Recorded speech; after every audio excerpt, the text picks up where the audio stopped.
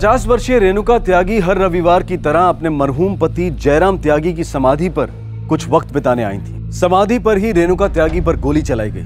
गोली चलाने वाले को मालूम था कि वो उस वक्त वहीं पर मिलेंगी।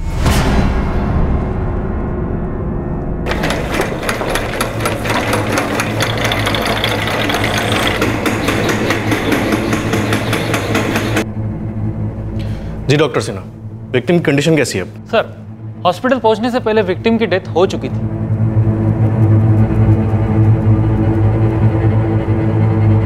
ये तो मर चुकी है।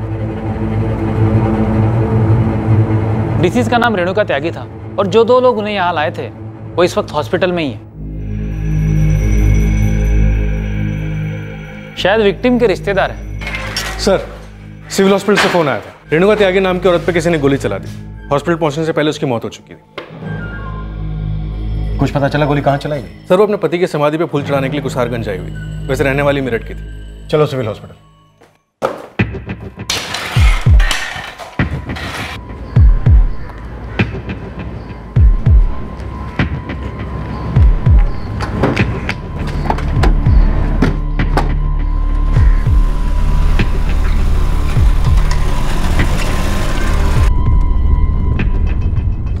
दीप्ति? जी शिल्पा भाभी।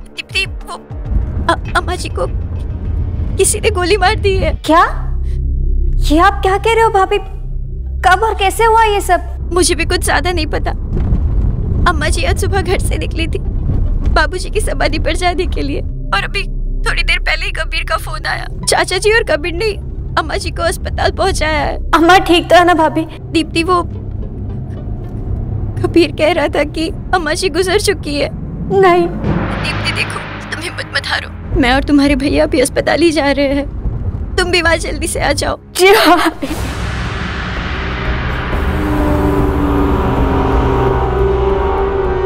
गोली काफ़ी नज़दीक से चलाई गई पॉइंट ब्लैंक रेंज से। हालाँकि बुलेट मिली नहीं सिर को चीर के निकल गई होगी। इनके रिश्तेदार कहाँ हैं?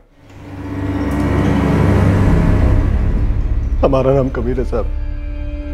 हम अपने खेत में काम कर रहे थे कि तभी गजराज मिश्रा हमारे पास दौड़ते हाँपते हुआ है भाई काम जल्दी करो। रात को पानी आएगा और खाद डाल दिया उसके बाद।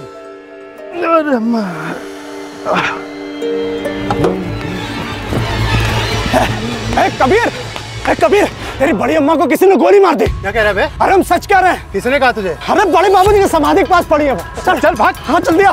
कौन गोली मारे बे? अरे मालूम है। हमने देखा। फिर हमने तुरंत बाबूजी को बुलाया साहब।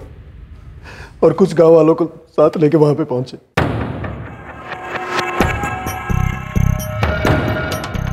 भाभी भाभी। बड़ी अम्मी बड़ी अम्मी। बाबूजी हाँ? बड़ी अम्मा ज़िंदा बाबूजी। अभी तक साँसें चल रही है। अच्छा चलो जल्दी से भाभी को उठाओ उठाओ उठाओ उठाओ भाई। मदद करो। उठाओ जितना जल्दी हो सका साहब हम बड़ी अम्मा को लेके यहाँ पे आ गए।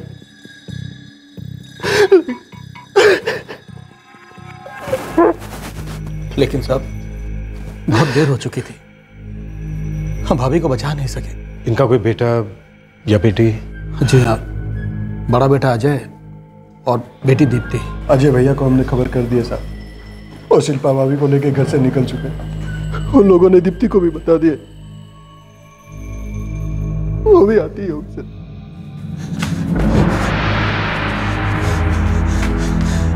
कबीर क्या मैं सचमुच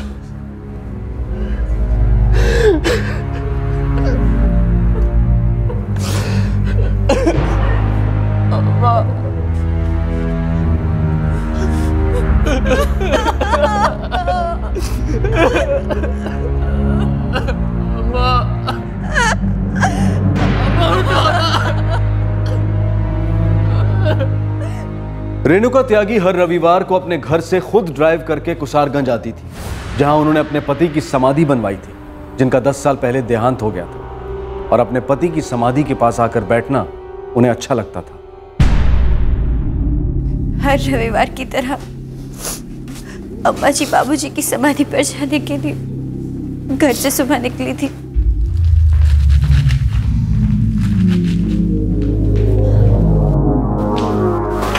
आप जा रही है? हाँ बेटा। अम्मा अम्मा पिछली बार आपने आने में बहुत देर कर दी थी। इस बार आप दोपहर के खाने के लिए टाइम से आ जाइएगा। हाँ। आएँगे ना पक्का? हाँ। अगर आपको देर हो रही है तो फिर मैं आपके लिए डब्बा बाँध देती हूँ। आप वहीं पे खा लेना। नहीं बेटा इसकी कोई ज़रूरत नहीं। मैं खाने के टाइम पे आ जाऊँ। ठीक है। संभाल के जाना।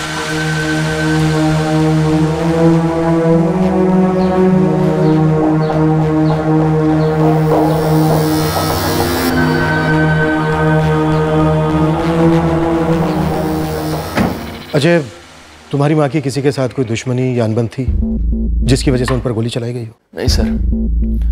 अम्मा बड़ी अच्छी औरत थी सर।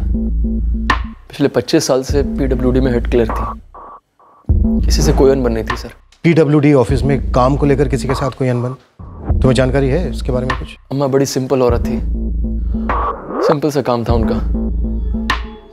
हमें नहीं लगता किसी को कोई प्रॉब्लम थी सर उनसे। प्रॉब्लम तो थी अजय।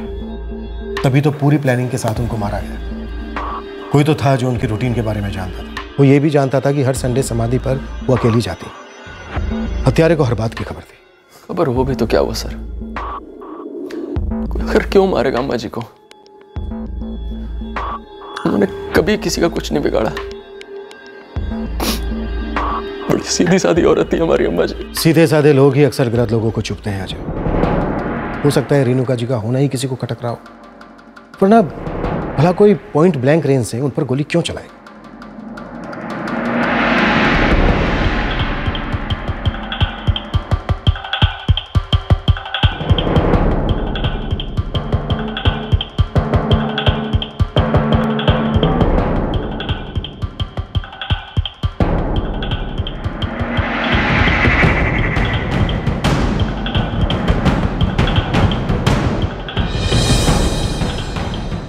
बुलेट मिल गई।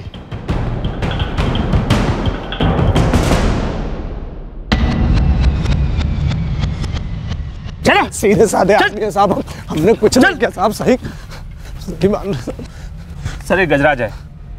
नमस्ते साहब। साहब हमारा कोई लेना देना है साहब हमने कुछ नहीं किया है। कुछ नहीं किया तो अब कर। चल शुरू कर बोलना।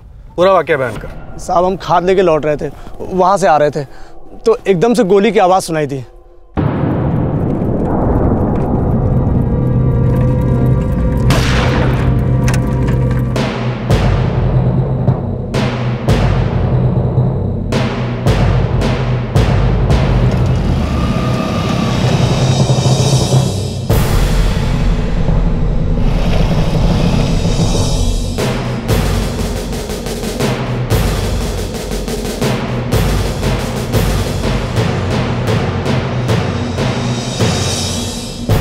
साहब हम रेणुका जी को पहले से जानते थे। कबीर हमारा पड़ोसी है उनकी बड़ी अम्मा थी वो। तो हम जैसे उनको देखे तो फ़ौरन भागे उसको बताने के लिए। बाइक का नंबर क्या था? हाँ साहब बाइक का नंबर क्या था? साहब हम हमने ध्यान ही नहीं दिया नंबर पे। वो क्या था कि गोली की आवाज़ सुन के ना दिमाग एकदम सुन्न हो गया था साहब। तो कुछ समझ ही नहीं आया कुछ सूझा ही नहीं हमको। दो लोग थे। चेहरे तो देखे होंगे। हाँ साहब एक बाइक पर बैठा था और दूसरा भाग के आया और मोटरसाइकिल पे चढ़ गया। और उसके बाद इधर भाग गए साहब ये लोग। कौन थे वो क्या पहना था उन्होंने? टी शर्ट पहनी थी साहब और गमछा भी था। दोनों के पास गमछा था। दोबारा देखोगे तो पहचान लोगे? हाँ साहब पहचान लूँगा। चल ठीक है ज़रूरत पड़ी तो दोबारा बुलाऊँगा। तब तक गाँव छोड़कर मत जाना। गया तो पकड़ के अंदर कर दूँगा। नहीं साहब हम कह नहीं जाएँगे हम हम यहीं रहते हैं। लेकिन साहब सुनिए ना साहब हमने कुछ नहीं किया साहब। साहब। ये point three one five bore के बुलेट का शैल है। ये ज़्यादातर राइफल और कट्टे में इस्तेमाल किया जाता है। सर लेकिन जब हमने गजराज से पूछताछ की तो उसने किसी राइफल का ज़िक्र नहीं किया। मतलब कट्टे का इस्तेमाल हुआ लगता है पेशेवर खूनी थे। ज़रूर किसी ने सुपारी दी होगी सर। एक पचास साल की औरत को मारने के लिए दो लोगों को सुपारी दी। ऐसे भी क्या दुश्मन सर रेणुका जी पीडब्ल्यूडी में काम करते हैं। शायद उनके काम से जुड़ा हुआ कोई लिंक।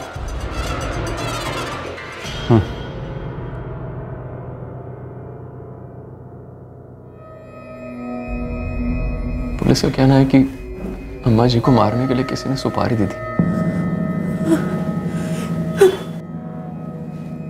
लेकिन बड़ी अम्मा को मार के किसी को क्या मिलेगा? इस बात में कोई शक नहीं था कि दोनों पेशेवर हत्यारे रेणुका त्यागी की हत्या के इरादे से ही वहाँ पर आए थे। लेकिन ये हत्यारे थे कौन?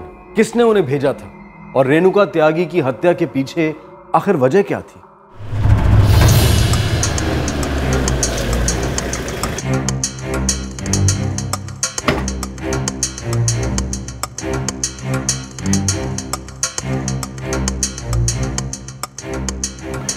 जी मैं तो रेणुका जी की डेथ की खबर सुनकर बहुत शौक हो गया। बहुत भली औरत थी। सिर्फ़ अपने काम से काम रखती थी। हो सकता है उनके काम से किसी दूसरे के काम में अड़चन आ रही हो।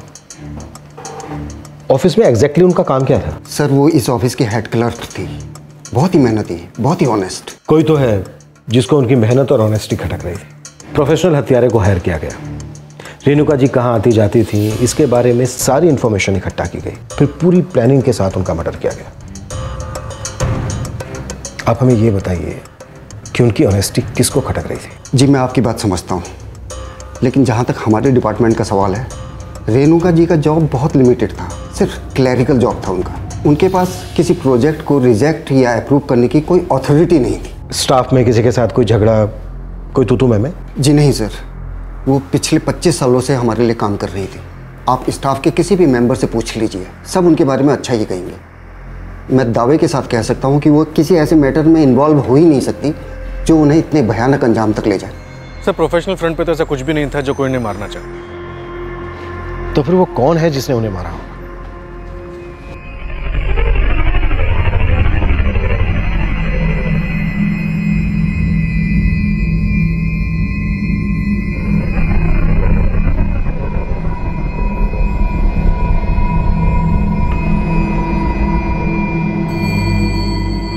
अब कट्टा तो साहब आपको भी मालूम है कि आजकल रद्दी के भाव में मिलते हैं। और आजकल छोटे मोटे डीलर्स इतने हो चुके कि ये बताना मुश्किल है कि किसने कट्टा किससे लिया होगा। हो सकता है कुसारगंज या उसके आसपास के इलाके से कट्टा खरीदा गया हो। उसकी छानबीन तो अभी चालू है सर। और आप बता रहे थे कि किसी ने पंटरों को भागते हुए देखा था। ये हत्यारे हिस्ट्री शीटर भी हो सकते हैं।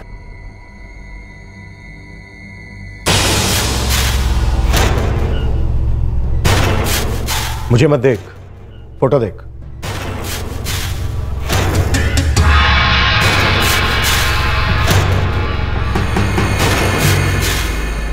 इनमें से है कोई? नहीं साहब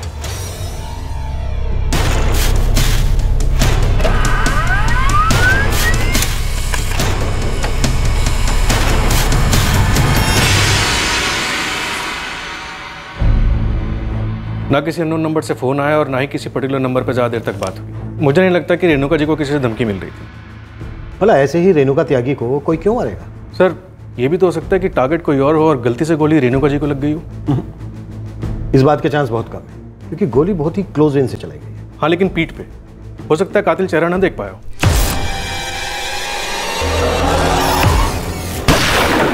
हाँ पर इतने पास आकर कोई गलत टारगेट पर गोली क्यों चलाएगा? पॉसिबल नहीं अगर रेणुका जी ही टारगेट थी तो बात फिर वहीं आकर रुक जाती। रेणुका त्यागी को किसने मारा? और क्यों? रेणुका त्यागी की किसी से क्या दुश्मनी थी? कोई प्रोफेशनल एंगल सामने नहीं आ रहा था और ना ही उन्हें मारने का मकसद। आखिर पुलिस ने इन्वेस्टिगेशन की दिशा बदली और रेणुका त्यागी के करीबी लोगों की जाँच पड़ताल शुरू की।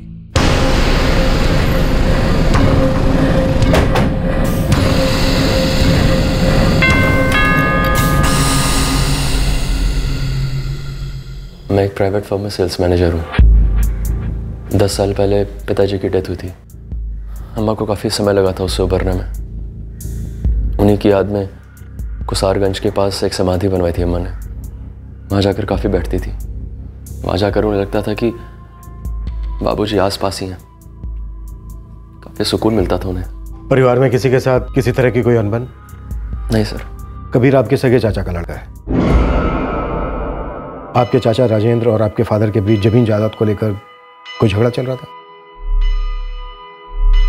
जी नहीं सर अच्छा संडे सुबह जब रेणुका जी समाधि के लिए निकली तो किसी बात को लेकर परेशान थी?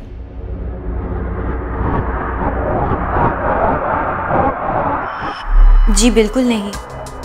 अम्मा जब भी बाबूजी की समाधि पर जाती थी तो उनका मूड काफ़ी अच्छा रहता था। उन्होंने कहा था वो दोपहर के खाने तक लौट आएगी। नहीं बेटा इसकी कोई ज़रूरत नहीं। मैं खाने के टाइम पे आ जाऊँ। ठीक है। संभाल के जाना। इस केस में अभी तक कुछ भी साफ़ नज़र नहीं आ रहा है। रेणुका जी की मौजूदगी से किसे नुकसान हो रहा था? और उनके जाने के बाद किसे फ़ायदा हुआ? सर अजय का कहना है कि घर में किसी बात को लेकर कोई झगड़ा नहीं था। लेकिन एक बात तो क्लियर है। अजय इकलौता बेटा है। और रेणुका जी के मरने के बाद अब जो कुछ भी है वो सब उसी का है। ये भी तो हो सकता है दोनों भाई बहन के बीच बराबर बटे। कुछ पता है दोनों भाई बहन के बीच अनबन थी या नहीं? हेलो सर मैं दीप्ति बोल रही हूँ। रेणुका जी की बेटी? जी दीप्ति जी कहिए। अम्मा के खोने का कुछ पता चला? अब तक तो नहीं। इन्वेस्टिगेशन चल रही है पर कुछ ठोस हाथ नहीं लगा। क्या आप कुछ रोशनी डाल सकती हैं इस केस में? कोई भी ऐसी बात जो हम नहीं जानते और आप जानती हो। सर अब मैं क्या बताऊँ? मुझे तो यही नहीं समझ आ रहा कि अम्मा को भला कोई क्यों मारना चाहेगा। ये तो बड़ा सवाल है। इसी का जवाब मिल गया तो सारे जवाब मिल जाएँगे। सर मैं सच में कुछ नहीं जानती। ठीक है थैंक यू क्या कोइंसिडेंस है? दीप्ति की बात छिड़ी और उसका फ़ोन आ गया। चलो। जब बात छिड़ी चुकी है तो इस एंगल से भी टटोल कर देख लेते रेणुका जी की मौत से दोनों भाई बहन को फ़ायदा हुआ? या फिर किसी एक दुबे, जरा पता लगाओ इन दोनों भाई बहन के बीच किसी तरह की कोई अनबन थी? या फिर अंडरस्टैंड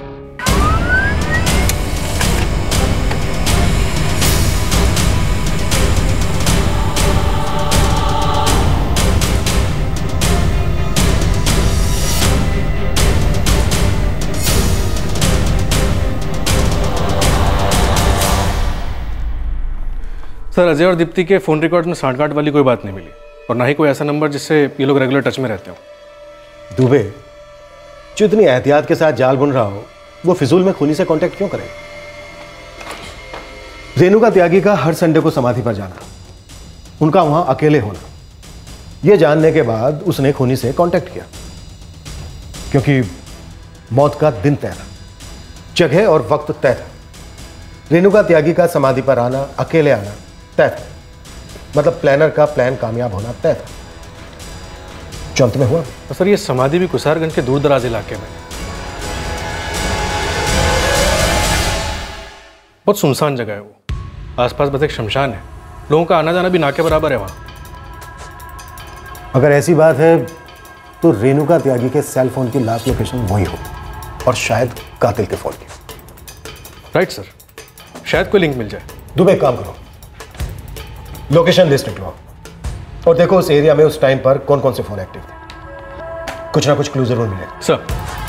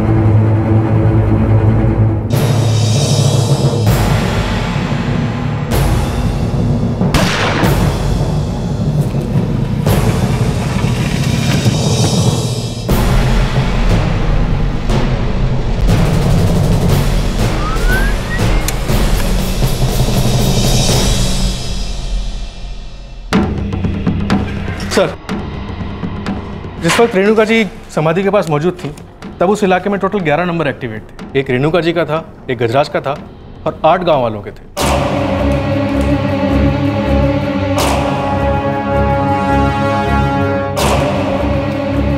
और सर एक नंबर ऐसा है जो अभी भी स्विच ऑफ़ जा रहा है। ये किसी सागर चौधरी के नाम पर है और ये कुसारगंज का नहीं है। कौन है सागर चौधरी? सर कोई झरना बाग का रहने वाला है। छरनाबाग कुसारगंज से लगभग 45 किलोमीटर दूर है ना? हाँ सर। और सर रिकॉर्ड से पता चलता है कि वो उस इलाके में टोटल आठ मिनट तक मौजूद था। यानी गोली चलाने के लिए पूरा टाइम था उसके पास। दुबे तुम एक काम करो। अपनी एक टीम लेकर झरना मार जाओ। बात करो इस सागर से। देखते हैं सागर मंथन से अमृत निकलता है या फिर जहर।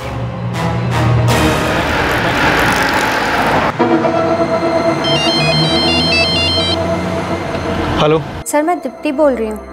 अम्मा के खूनी का कुछ पता चला? लगता है इस केस को लेके सबसे ज़्यादा फिक्रमंद आप ही हैं। या फिर हो सकता है ये जानना चाहती हूँ कि हम क्या कर रहे हैं। सर मेरी माँ थी मैं जानती हूँ कि आप हम सब पर शक कर रहे हैं। मेरे भी मन में कई सारे सवाल उमड़ रहे हैं। लेकिन मैं कैसे मान लूँ कि अम्मा की जान उसी के परिवार में से कोई ले सकता है? आपकी फैमिली में से कौन ले सकता है उनकी जान? यकीन के साथ तो नहीं कह सकती सर। दिल कुछ और कह रहा है और दिमाग कुछ और। सागर चौधरी ये नाम पहले कभी सुना है आपने? नहीं कौन है वो? कोई झरना बाग का रहने वाला है। फ़िलहाल सिर्फ़ इतना ही कि लू हाथ लगा है। झरना बाग जी हाँ। मेरी भाभी शिल्पा का मायका भी झरना बाग में मुझे पहले से ही डर था। कहीं घर का ही तो कोई इन्वॉल्व नहीं है। नहीं नहीं ऐसा कैसे हो सकता है? भाभी भला ऐसा क्यों करेगी?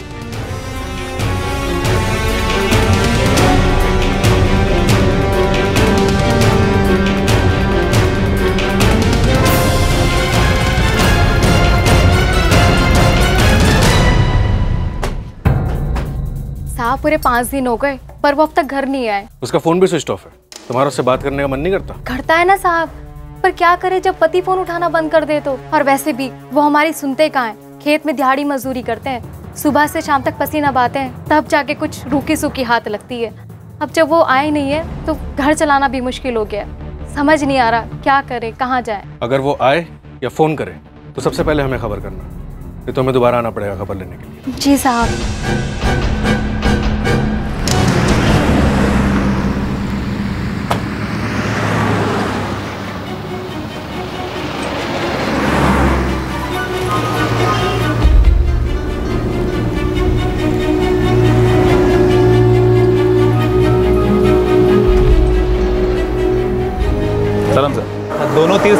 निशाने पे लगाए ये जो हाईवे के पास वाला लॉज है ना उसी में छिपकर बैठा है सागर चौधरी। और दूसरा तीर? बिल्कुल सही खबर है वो। ये जो शिल्पा त्यागी है ना रेणुका जी की बहू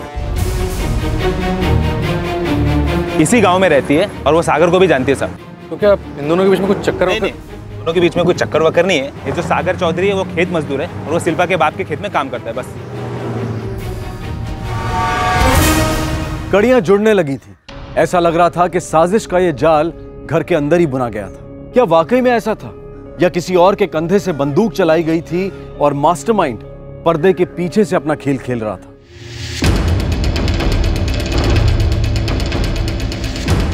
तोड़ दो।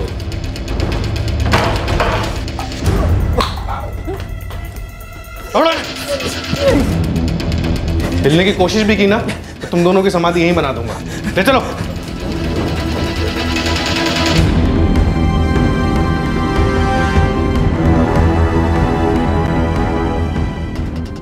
हंसराज जी सर। पहचानो। ये दोनों थे वो?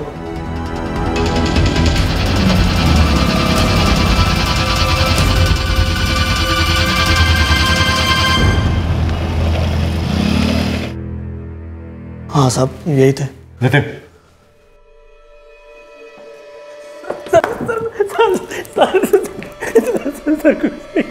एक सागर मेरा टाइम बिगाड़ेगा। तो तेरी बॉडी का पूरा नक्शा बिगाड़ दूँगा। मैं ये जान चुका हूँ कि तूने ही रेणुका त्यागी को मारा है। मुझे अब ये बता, क्यों और किसके कहने पर? बोल! अजय अजय, मैंने कुछ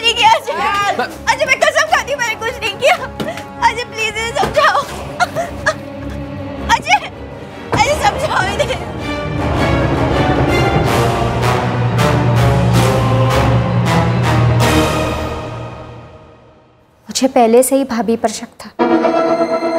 लेकिन फिर मुझे लग रहा था कि शायद मेरा ही सोचना गलत है।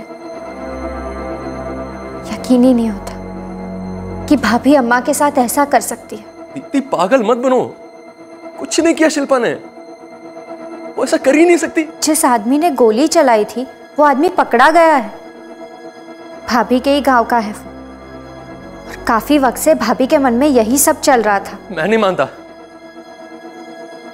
ऐसा हो ही नहीं सकता।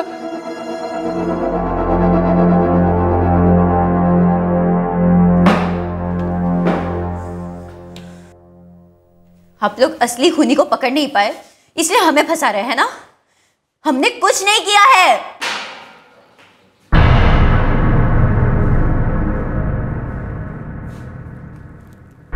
सागर चौधरी ने कबूल किया है कि तुमने ही अपनी सास को मारने के लिए ऐसे पैसे दिए थे। कुछ याद आया शिल्पा जी? लेकिन हमारे अकेले का काम नहीं है ये। एक और आदमी लगेगा। और बंदूक भी खरीदना होगा। खर्चा होगा। कितना? पच्चीस से तीस हज़ार रुपए। ठीक है। हम इंतज़ाम करते हैं। अगली बार जब हम मायके आएँगे तो तुमसे यहीं पर मिलेंगे। चलते हैं। एक मिनट रुकिए। रहा नहीं जा रहा है इसलिए सोचा पूछ लें। आप अपनी सास को मारना क्यों चाहती हैं? तुमने अपनी सास को क्यों मरवाया?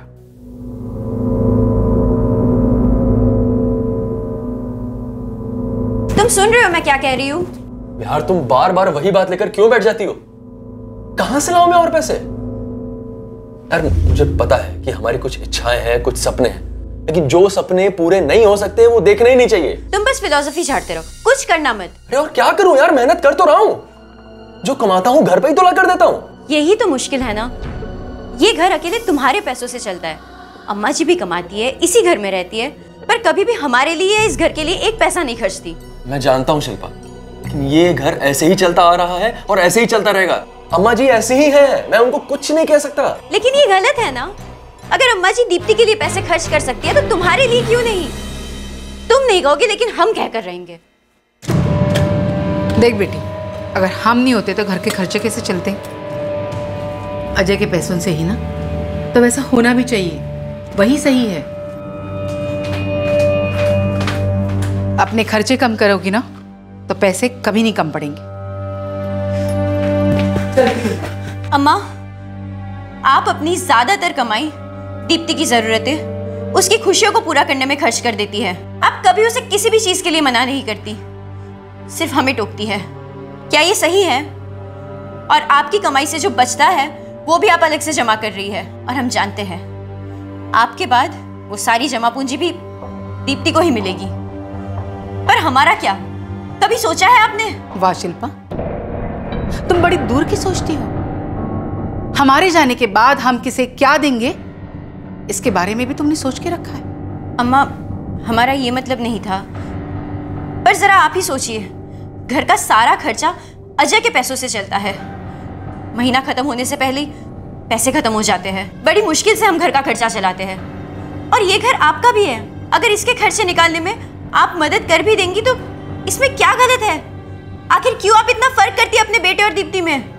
देखो शिल्पा हम कोई फ़र्क नहीं कर रहे हैं। और अजय जो कर रहा है, वो उसकी ज़िम्मेदारी है। निभाने दो उसे। और रही बात दीप्ति की तो उसे चलो मत। जो तुम्हारे पास है, उसी में खुश रहने की कोशिश करो। ये तो ज़िंदगी भर पछताओगी।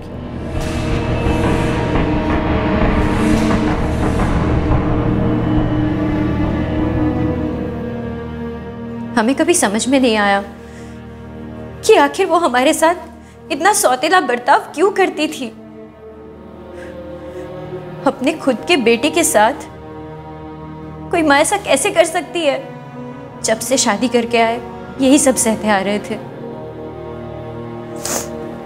पर अब हमारे बर्दाश्त के बाहर हो गया था। हमारी समझ में आ गया था कि वो कभी भी कुछ भी हमें नहीं देने वाली। सब कुछ उनकी बेटी दीप्ति को मिलेगा। हम डर गए थे।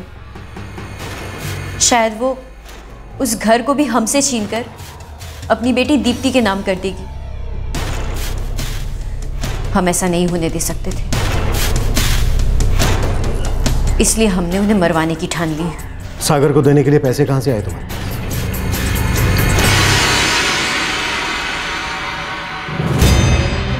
हमने अपने गहने बेच दिए जिसके हमें तीस हज़ार रुपये मिले। वो हमने सागर को दे दिए। यानी रविवार की सुबह रेणुका जी जब अपने पति की समाधि के लिए निकली तब तुम अच्छी तरह से जानती थी कि अब वो घर कभी वापस नहीं आएँगी। हाँ। हमें तो बस यही सोचकर तसल्ली हो रही थी कि अब वो जा रही है। हमेशा के लिए। अगर आपको देर हो रही है तो फिर मैं आपके लिए डब्बा बाँध देती हूँ। आप वहीं पे खा लेना। मैं खाने के टाइम पे आ जाऊँ। चलिए। संभाल के जाइएगा। हाँ बेटा। उनके जाते ही हमने सागर को फ़ोन किया। हम जानते थे। बाबूजी की समाधि पर वो अकेले ही जाती है। और कोई नहीं होता उनके साथ। सब कुछ सोच रखा था हमने। हाँ हमने ही किया ये सब। हमने ही मरवाया उन्हें। क्या अजय भी तुम्हारे इस प्लान में शामिल था?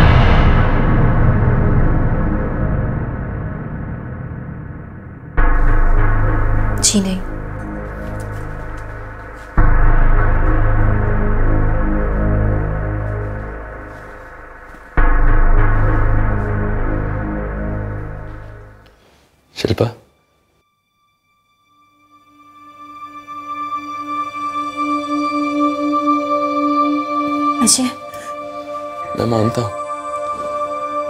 माँ जो करती थी वो सही नहीं था। लेकिन माँ हमेशा से ऐसी थी। कितनी बार समझाता तुम्हें तुमने क्यों किया ऐसा शिल्पा? जीना मुश्किल हो गया था। हमें समझ नहीं आता कि कोई अपनों के साथ ऐसा कैसे कर सकता है। लेकिन जो तुमने किया वो उससे भी घिनौना था।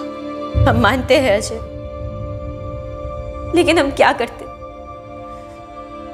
हम नहीं चाहते थे कि तुम्हारी माँ सब कुछ तुम्हारी बहन के नाम कर दे।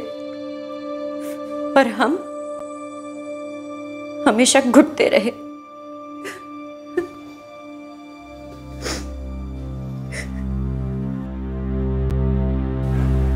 भाभी को अगर डर था कि अम्मा अपना सब कुछ मेरे नाम कर देगी तो एक बार उन्होंने मुझे बताना तो चाहिए था।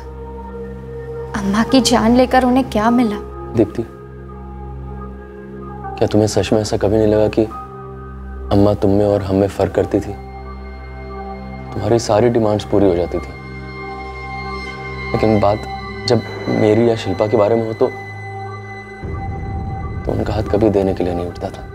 भैया वो अम्मा की अपनी मेहनत की कमाई थी। वो जिसे चाहे देती। अम्मा हमेशा हमें नजरअंदाज करती थी।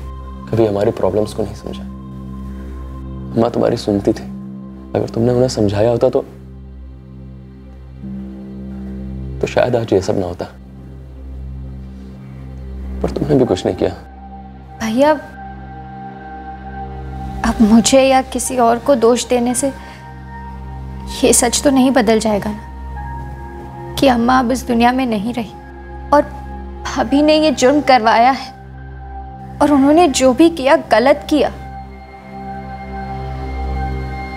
कोई भी दलील इस सच को नहीं बदल सकती।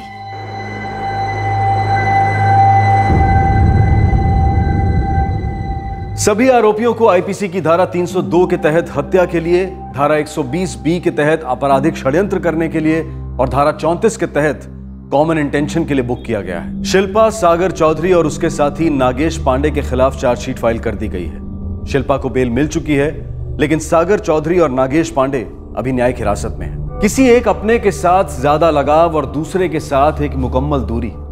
क्यों इंसान कभी कभी अपनों के बीच भी इस तरह का फ़र्क करता है? लेकिन क्या हर किसी के साथ एकदम सटीक और नपातुला बर्ताव मुमकिन है, ताकि किसी को शिकायत का मौका ना मिले? शायद नहीं, क्योंकि ये तो इंसान के नज़रिए पर निर्भर करता है और ये इंसानी फितरत है। अक्सर दूसरे की थाली में ज़्यादा ही नज़र आता है सकता है कि किसी व्यक्ति विशेष के साथ हमेशा अन्याय होता आया हो, उसे नजरअंदाज किया गया हो। लेकिन फिर भी ये शिकायत, ये वजह कभी भी जायज़ नहीं हो सकती कि इंसान सब कुछ दरकिनार करके किसी दूसरे इंसान की जान लेने पर उतारू हो जाए। जब मन में किसी के प्रति घृणा, असंतोष, अविश्वास पनपने लगता है तो समाधान की संभावना लगभग खत्म हो जाती है। और इसके लिए किसी दूसरे इंसान की जान ले लेना, ये तो हरगिज किसी समस्या का हल नहीं हो सकता। आपसे फिर मुलाकात होगी। क्राइम पेट्रोल सतर्क में एक और नए केस के साथ।